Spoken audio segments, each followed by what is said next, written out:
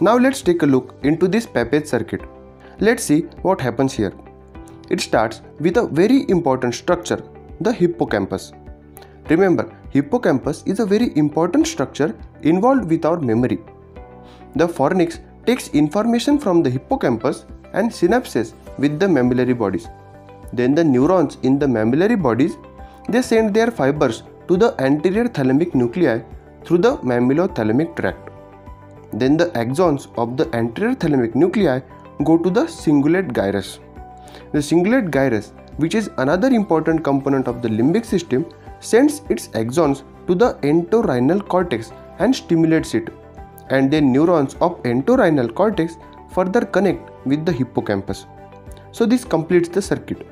And remember, the whole purpose of this circuit is emotional episodic memory.